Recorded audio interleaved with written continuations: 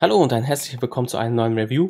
Heute habe ich euch die 71738er von Lego Ninjago mitgebracht. Saints Titan Mac ist der Titelname. Ähm, 840 Teile, 60 Euro UVP-Preis und 4 Minifiguren. Das ganze Set plus die Minifiguren schauen wir jetzt gleich nach dem Intro an.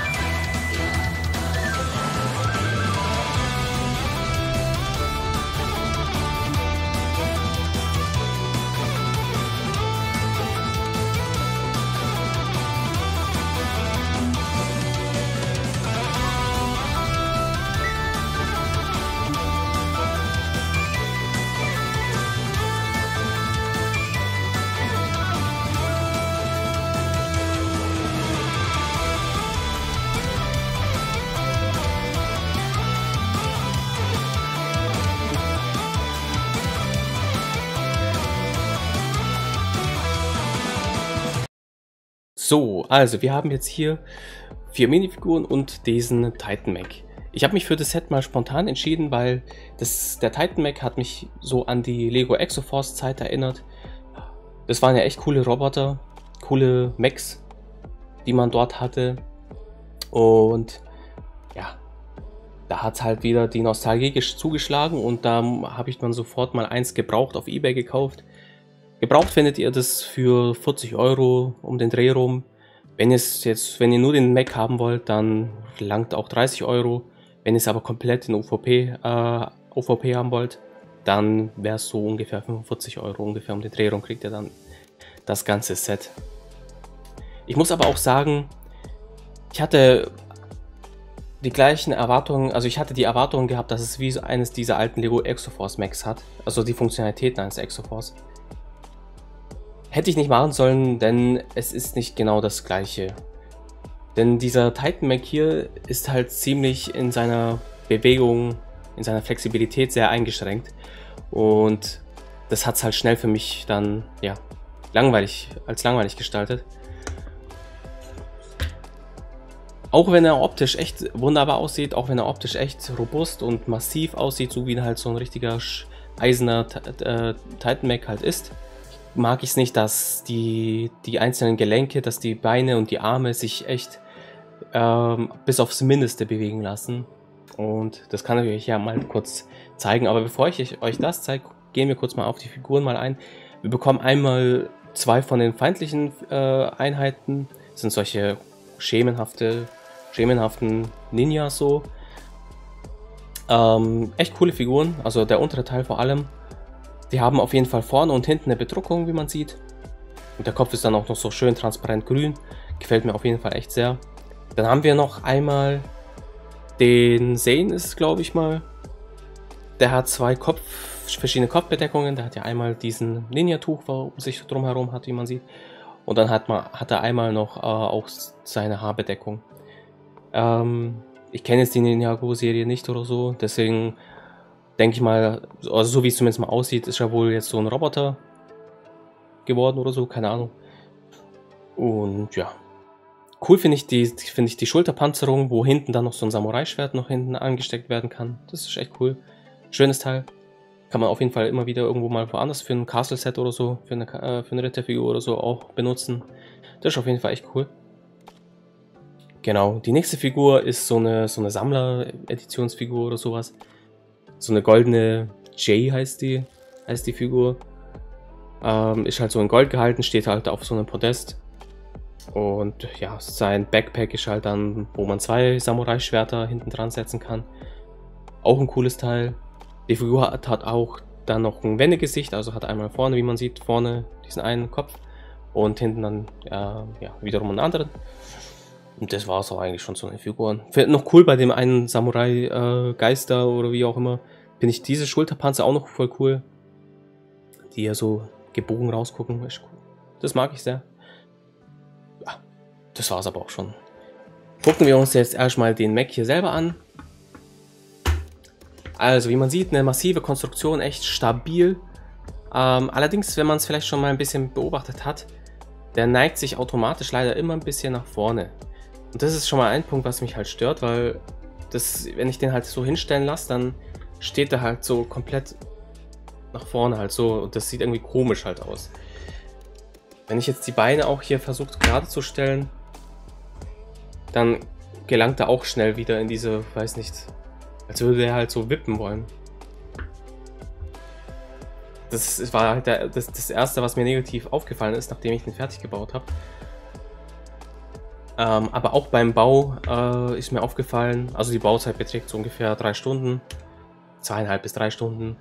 Man fängt hier mit dem Korpus hier an, mit dem Körper, fängt dann weiter an, die zwei Beine fertig zu, fertig zu bauen. Die sind ja auch relativ leicht, deswegen wiederholt sich das auch hierbei zweimal, beziehungsweise auch an den Armen wiederholt sich auch teilweise. Genau, und nachdem man die Beine mit dem, mit dem Körper zusammengesteckt hat, fängt man dann hier an, die Arme noch zusammenzubauen und am Ende kommt dann, ich glaube am Ende kommt, ja, am Ende kommt dann hier der Kopf dann noch drauf. Genau, und auf jeden Fall ist mir halt beim Bau schon aufgefallen, dass das nicht funktionieren kann, so massiv wie das zusammengebaut ist, dass die Beine sich flexibel bewegen können. Weil die Beine, die lassen sich nur so leicht, die lassen sich nur hier so ein bisschen nach vorne und nach hinten bewegen. Aber das war es auch schon. Man kann es nicht so zur Seite drehen. Liegt auch daran, dass die an solchen, ähm, an den Kugelgelenken hier dran befestigt sind. An beiden Stücken. Und wiederum nochmal hinten was es dann verhindert, dass es sich einmal drehen kann. Das fand ich bei den Exoforce Max besser. Das hat, die hatten da so richtige Kugelgelenke gehabt, die man auch manchmal, oder die man teilweise, glaube ich, auch bei den Bionicle Sets zu finden waren, wenn ich mich nicht irre. Ähm, das fand ich halt bei den Exoforce Max tausendmal besser, weil da konntest du wirklich jeden, du konntest da die Arme und die Beine konntest du so verstellen, wie du möchtest, in dieser Position, in einer Pose, wie du möchtest. Und das sah halt dann cool aus. Aber hier geht's halt einfach echt nicht. Du kannst halt nur nach vorne oder einfach nur nach hinten so. Aber ja. Und selbst in so einer Position hält er sich ja auch nicht mal, wie, wie man sieht. Wobei jetzt hier so passt es. Aber der ist halt, steht dann halt wackelig da. Also auch wenn er wirklich optisch schön aussieht und alles drum und dran, so finde ich, in der Praxis ist, äh, funktioniert der eher nicht so wirklich. Dann haben wir hier an der Hüfte, an der Hüfte haben, können wir dann jeweils die Beine auch noch so nach vorne und hinten bewegen. Nur minimal können wir die noch hier an der Seite noch äh, auseinander spreizen lassen, damit ich hier einen kleinen Spagat mache. Die Arme, die lassen sich wiederum, bei den Armen muss man halt erstmal die Schulterplatten hier oben äh, ein bisschen aufklappen, damit man dann ungefähr bis zu einem 90 Grad Winkel hier die Arme aufstellen kann. So, dann kann man noch hier die Arme wiederum nochmal drehen. Wiederum, an, im Gegensatz zu den Beinen sind, können die Arme etwas mehr bewegt werden, etwas mehr verstellt werden. Ähm, aber wenn man jetzt zum Beispiel hier dreht, und dann geht es halt nicht so nach oben. Also es muss schon wirklich hier in dieser Position, in dieser Ausgangsposition stehen. Also man sieht halt, der, der lässt sich wirklich nicht so groß irgendwie verstellen. Nicht, man kann mit dem jetzt nicht wirklich viele Posen machen, mit dem.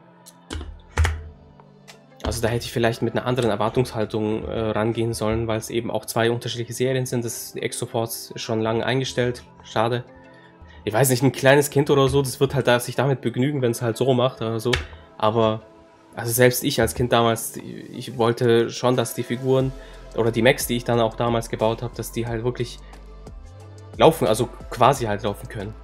Also dass man die wirklich in einer bestimmten Laufposition halt bringen kann und auch posieren kann, posieren lassen kann. So, ich habe mich damit nicht begnügt, ich habe noch nicht so irgendwie rumgehampelt oder so. Weil, ja. Dafür hat meine Vorstellungskraft nicht komplett ausgereicht. Man kann auch noch, übrigens kann man noch hier diese einzelnen Finger noch hier bewegen. Greifarme, dann hat, der, hat dieser Titan Mac noch zwei Waffen parat. Zum einen, wie man auch sieht, hat er jetzt hier so einen Schuriken an seinem Arm.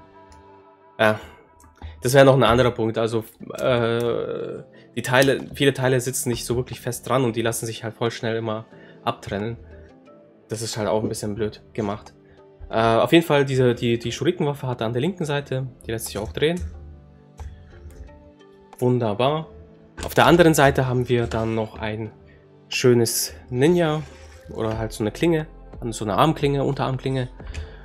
Die ist ganz cool, finde ich. Ist auch, eine, äh, schon ein cooler, also ein, ja, ein cooles Feature, dass man das hier so hinten verstecken kann und dann, wenn er ausfährt, zack, kommt es halt hier so raus.